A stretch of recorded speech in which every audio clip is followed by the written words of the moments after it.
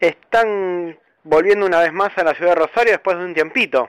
Sí, yo soy malísimo con las fechas, no me acuerdo cuándo fue la última vez, pero... Y creo que fue el año, Pero sí. fue el año pasado, si no me equivoco.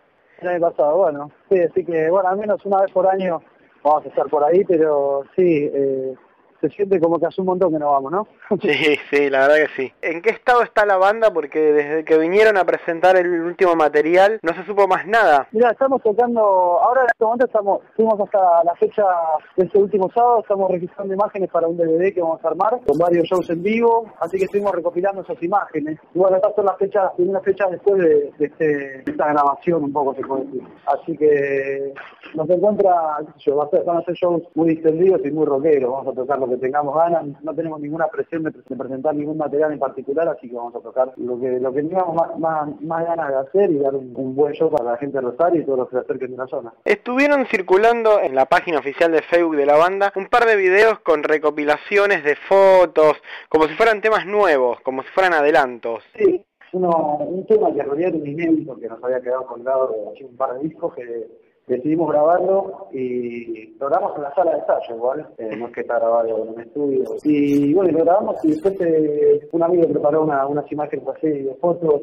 y bueno, lo sacamos, lo mostramos por internet y hoy en día la verdad que si bien yo como usuario particular no tengo Facebook ni, ni sé cómo se usa, es una herramienta que la banda, la banda la está aprovechando un montón y nos comunicamos mucho con la gente por ahí. Por los comentarios y por lo que se vio, la cantidad de reproducción de, de veces del video, es como que la gente se ilusionó con un, con un nuevo material de la banda. Pasa que eh, historia perdida en el 2010 y sí, bueno, que yo en la interna te puedo decir que los temas están, pero no, no es un plan por ahora andar andar sacando un disco nuevo.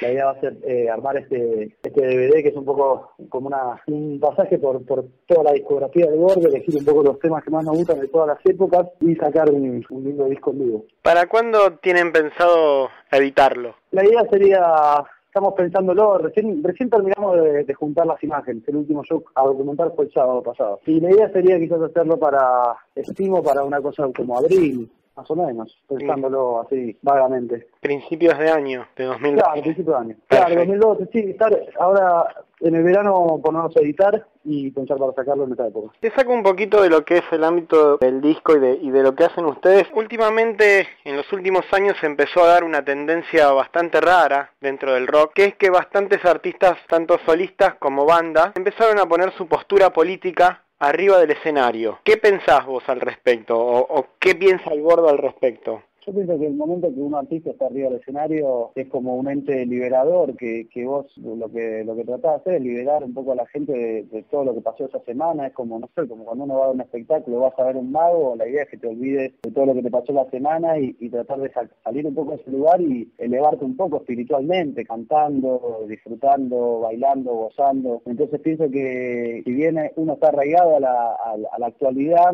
no sé si es el mejor momento cuando uno está arriba del escenario de andar bajando porque creo que si hay muchas veces que hay cosas que te sobrepasan y las querés decir, es un momento que la idea es que justamente que uno se libere de todas las cosas que lo, que lo atan a, un poco a, la realidad mundana y, tratar de elevarte un poquitito más. Entonces yo no sé si es el mejor momento para andar eh, hablando de posturas políticas o cosas que esté de acuerdo o que no esté de acuerdo. Parece que creo que, que pasa por algo, energías más inconscientes que, que tanta, tanta conciencia arriba del escenario. ¿Qué show le traen este año a la gente de Rosario? ¿Qué show le llevamos? Sí. Mira, venimos, la, la otra semana fuimos a ver a Perján y estamos todos muy motivados y muy, eh, se puede decir que bastante movilizados por la experiencia de ver una banda de- del estilo que nos gusta a nosotros haciendo haciendo su show en vivo. Así que calculo que eso va a estar impregnado porque estamos con, con muchas ganas de rockear y pero rockear no solamente quiere decir canciones fuertes con distorsión, sino canciones con intensidad. A veces una balada puede ser muy intensa y a veces un tema fuerte